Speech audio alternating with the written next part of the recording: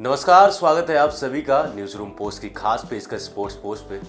भारत और ऑस्ट्रेलिया के बीच हो रहे पाँच टी ट्वेंटी मैच की सीरीज़ में भारत ने शानदार खेल दिखाते हुए ऑस्ट्रेलिया को दो मैच हराकर सीरीज़ में बढ़त बना लिए इस सीरीज़ में अगर किसी खिलाड़ी ने सबसे ज़्यादा इंप्रेस किया है तो वो है रिंकू सिंह ने। इस खिलाड़ी ने जो फिनिशिंग की कला और टेम्परामेंट दिखाया है फैंस उसके कायल हो चुके कई फैंस तो रिंकू सिंह को धोनी से भी उनकी तुलना करने लगे।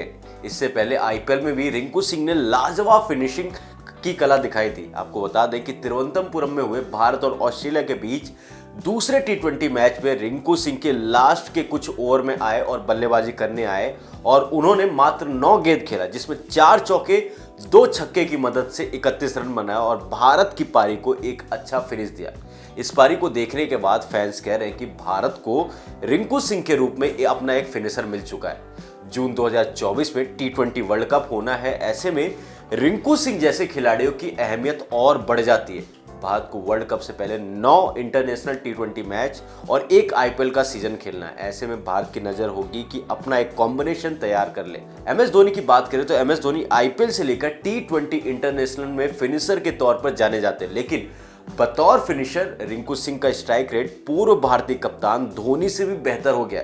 टी ट्वेंटी के ओवरऑल रिकॉर्ड की बात करें तो इसमें टी ट्वेंटी इंटरनेशनल और दूसरे टी ट्वेंटी मैच में भी शामिल है। तो रिंकू सिंह ने अब तक डेथ ओवर्स में 25 पारियों में 208 के स्ट्राइक रेट से 520 रन बनाए। इस दौरान उन्होंने 250 गेंद का सामना किया है, उनतालीस चौके और 40 छक्के लगाए।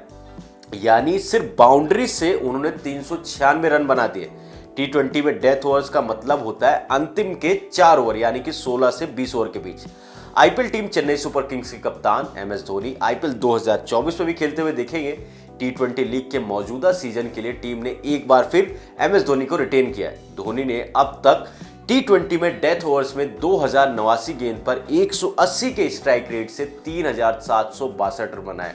दो सौ छियासी चौके, दो सौ सोलह छक्के लगाए हैं। धोनी ने अपने दम पर कई मैच पलटे। पूर्व भारतीय दिग्गज युवराज सिंह के डेथ ओवर्स के रिकॉर्ड की बात करें तो उन्होंने डेथ ओवर्स में एक के स्ट्राइक रेट से रन बनाए हैं। वहीं सूर्य कुमार यादव टी के नंबर वन बैट्समैन है। वे भी ताबड़तोड़ बल्लेबाजी के लिए जाने जाते हैं। लेकिन डेथ ओवर्स में उनका भी स्ट्राइक रेट रिंकू सिंह से कम है। सूर्य ने टी ट्वेंटी करियर में डेथ ओवर्स में अब तक 205 की स्ट्राइक रेट से नौ सौ तेरह रन बनाए।